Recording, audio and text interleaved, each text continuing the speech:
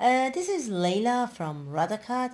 Uh, I decided to create a series about uh, Microsoft Azure Workspace and in each episode I'm going to look at the one of the component of there and going deep through the uh, how we can use them and what functionality is there. So in the first episode that is this one I'm going to have a look on the environment and how to access this environment and also what component we have over there. So uh, to start, you need to have a Microsoft Azure. So if you don't have it, you can get a free one and or you can apply for a student one to get it and use it. So uh, if you just search for actually Microsoft Azure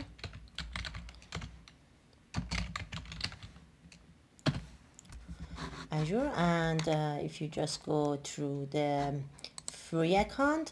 So if you are not a student you can actually apply for a free account over here and it's give you some credit to start with that and actually start with a 200 dollar US dollar uh, and you can use that. Or uh, if you are a student and uh, there is a, a plan for the students account. So you should just search for student account or benefits. There is a free account uh, uh, that's that is for actually uh, students one and you can apply actually for that one and use it for a year. So actually it's renew each year and you can log in with your university account. So um, and or of course you can use your uh, company account to doing that. So after you access to Microsoft Azure you need to create a uh, resource. So in Microsoft Azure, for the people who are new to that, uh, uh, so uh, we, we can create a folder that we call it as a resource group. So you can create a resource group as a folder and put uh, every resources uh, or every software that you want to access through that one. So here, uh, I'm going to create a resource. A resource can be anything, any component. So you see that there are lots of components over here. We have different categories for AI and machine learning, for analytics, uh, for the container database from Azure SQL database and the other. So the one that we are going to work is located under the category. So let me uh, zoom it so you can actually see that one clearly. So under the AI machine learning, under the machine learning, you can just click and create that one. So just click on that and create there are very uh, simple questions asking here. You need to choose a resource group for that, a workspace name, a region. So recommended, it's close to the region that you already there. So it's better to be that one.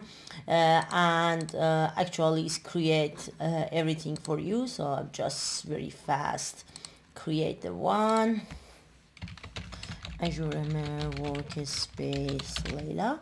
So uh, you see that as long uh, as I'm start to define a name for my workspace, that's a place that I'm going to actually create my models and everything over there, is also allocate a storage account for me, equivalent application inside to track that how much I use, and also a container, you can uh, also allocate a container registry. So you see that is actually, you don't need to create any storage account yourself uh, as long as you create a Azure ML workspace uh, resource here is create some dependence resource like a storage account and also application insight for you so and then you click on review and it's created so after it's created, it's actually just back to the new environment. Uh, under the Azure ML, uh, you will see the normal view of the any resources that you have uh, in the Microsoft Azure. Uh, in the middle of the page is actually navigate you to a studio, to a place that is called a studio. For people who work with Azure ML Studio, you remember we have a drag and drop environment, but this one is a bit different. So I just click to launch on a studio and it's uh, kind of open and uh, kind of the second environment for me that most of the uh, features that I want is actually located here. So if you look at here, uh, we have different things. We have um, actually we have author part that is here. So we have author, that means that we can generate machine learning through here. So these are three different environment to create a machine learning model that I'm in the next episodes I'm going through them.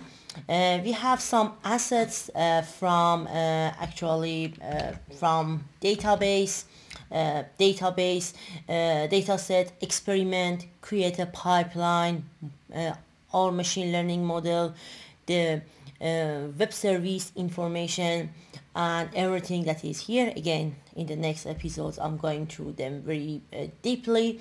And uh, finally there are some groups for manage. So we have author that is stands for creating the model. We have some assets that actually we use them to kind of help us to uh, create the models and actually create the web service.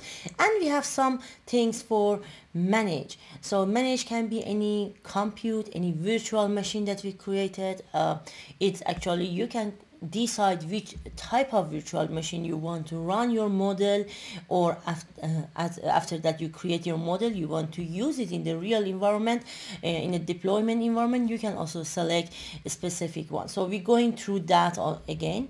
The environment the data store the place that actually you are going to connect your database uh, if any other services has been linked and also data labeling. So they are related about managing your um, models and the work uh, that you've done. Uh, that we are going to talk about it soon. So here is actually the environment that we have. So you can actually set it up in the middle. You can see all of the run that has been, all of the model uh, that has been done, if they are the status, if they are completed, if they fail what experiment has been used, the date, uh, and also uh, some other information if they are experiments the regression one or what else. So you can click on to see the whole run over here. So uh, if you click on that, you can see um, uh, kind of the chart so um, you can see the all of them over here or you can go through the all experiments and under that you can see the different experiments that has been created over here. So I will talk about the experiment very soon. Uh, uh, and also you can have an overview of the compute model and the data set that you already have and uh, some of the very very quick information about that. And of course you can access to some tutorials that some of them are really good and uh, kind of help you step by step how to use this resource. So uh, the first one is actually that we have so you can create a new um, machine learning through click uh, by click on the this green plus. Uh, it's actually you can create a new notebook uh, automated ML that I will talk about that data set or the other or you can simply choose them over here. But before we going through the whole process uh, let me back to the basics of machine learning that we have. So if you remember that uh, from the mini uh, sessions and uh, from previous videos that I posted the main uh, uh, aim is actually we collect some data, uh, we clean the data and we prepare the data.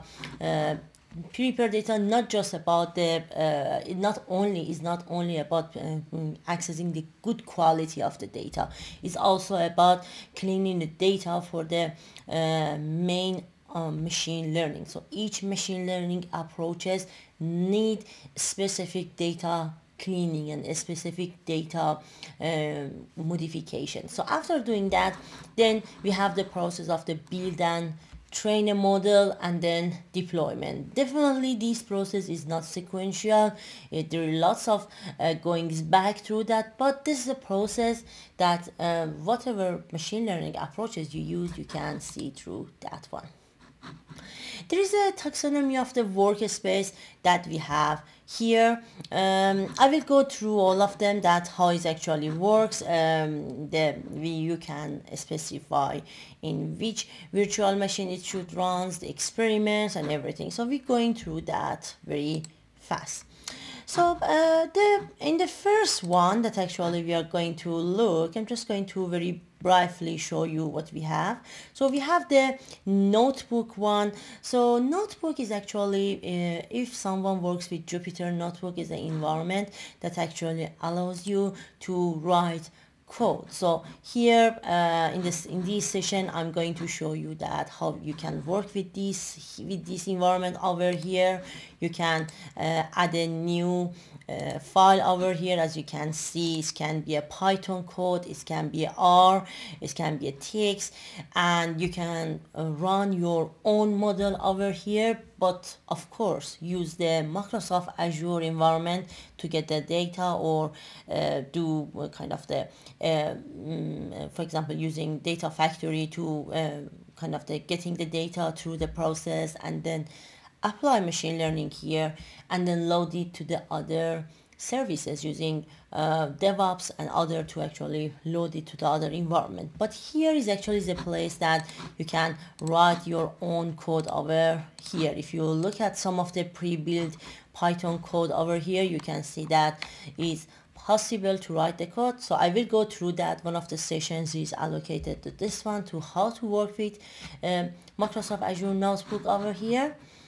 Uh, one another episode that I'm going to talk about is about automated ML, about what is automated ML and how automated ML can be really useful. So as you can see here, I already run. So mm, automated ML is for people who don't need uh, actually want to write any code or they are not that much familiar with machine learning.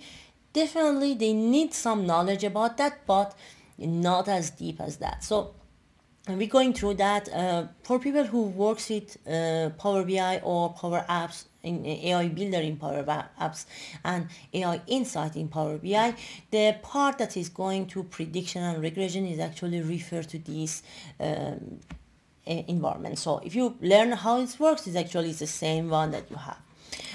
Third part that actually help us to create machine learning is designer. For people who know Azure ML Studio is the same environment. So it's a kind of the drag and drop environment that um, you need to know a bit about machine learning process but at the same time uh, you don't need to write the code it's a very visual environment that help you to create a machine learning model compare the result from different model and how to deploy it. So in all three of them you can actually create a pipeline for this process. So uh, we're going through them how to set up a pipeline uh, about uh, how's the process from creating the uh, collecting the data and then from creating the model deployment and then import it and to the IoT edge or to other devices. Can be a process single process that happen that we're going through that. In the same time you may create some models over here. So you may create some models through your Azure machine learning or uh, there is also possibility that you get models from other environments. So that's a kind of the big deal about that. So you can import models from other framework and use it over here. So it's not limit you to just use the model that create here. You may just use this platform for the creating the pipeline and actually uh, run it and to get the data. So that's also possible. We also have a look on the how we can get the data from different uh, storage. So we are going to look at the data store how we can get the data from uh, different data store types. So as you can see here we have Azure Blob Storage Azure File and the other. So we will look at that one. And of course uh, after you connect to this data store you uh, kind of going to uh, uh get some of the data from there. So uh, you get some data sets from that data stores and is we are going to see that how it also work. Uh, at the same time, we're going to look at the different uh, virtual machine or compute we call here uh, here we have four type of them we are going to see that when use which of them. So it's actually they are help us to creating to train the model or at the end if we want to uh, kind of deploy it as a uh, kind of connected to the Databricks or the other how we can use and how uh, to set up each of these so this is a very uh, so this is the environment that i'm going to talk. So in the next video we are going to uh, see that how uh, automated ml works. We are going to see that how it works what is the concept behind that. We create a model uh, and then in the next in the third episode we are going to look at how we can actually call the model that we created in azure um, uh, actually automated ml inside uh, azure notebook.